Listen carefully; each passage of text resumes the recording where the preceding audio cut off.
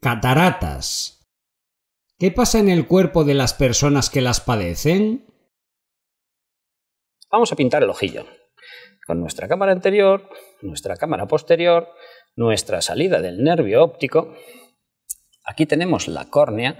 Vamos a ir poniendo los nombres para que ustedes se sitúen. Luego tenemos por aquí el iris, que vamos a darle vuelta porque coincide y sigue por ahí con todo el tema de la retina. Vamos a poner aquí iris. Aquí la flechita va a ser la pupila, que es lo que nosotros vemos. Y claro, por eso vemos ese punto blanco detrás de la pupila. En el redondito que tendría que ser negro empieza a ser un poco blanco.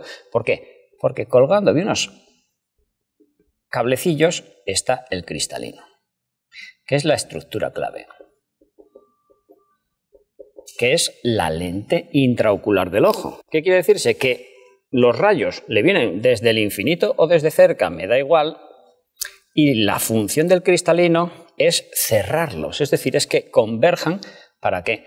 Para que la imagen la den justo en la retina, que es donde están las cámaras fotográficas, donde reciben esa impresión de colores, la convierten en electrones, los mandan para el cerebro y así vemos. Claro, Habrán oído ustedes hablar que el cristalino es lo que se fastidia cuando empezamos con la presbicia. La visión esta de hoy no veo bien porque estoy mayor.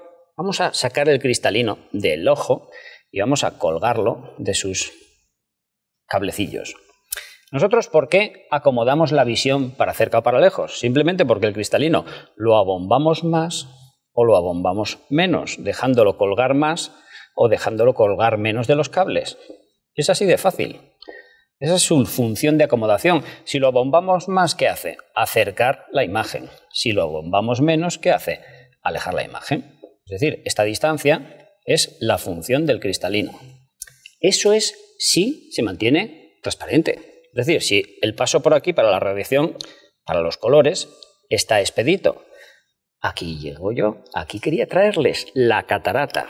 Nosotros en ese cristalino tenemos la estructura, tenemos células que no tienen núcleo porque si no estorbarían, no harían transparente el cristalino, pero que están llenas de proteínas. Es como, como una sopa de proteínas, para entendernos, pero con poca concentración de proteínas.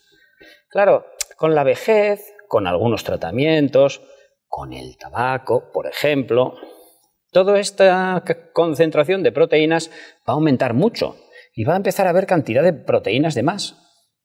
Y por lo tanto, ese cristalino que era transparente, simplemente por este acúmulo de toxinas dentro de él, por este enmarranamiento interior, se pone opaco. Y al ponerse opaco, ¿qué conseguimos? Que cuando la luz viene por aquí y nosotros estamos viendo, por ejemplo, un 3 nítido, si nosotros tenemos un cristalino opacificado por la catarata, ¿qué vamos a conseguir? Una cosa borronosa, que no sabemos si es un 3 o qué quiere decir, si le ha gustado el contenido de este vídeo que acaba de ver, seguro que este otro vídeo también le interesa. No olvide suscribirse al canal y activar los avisos.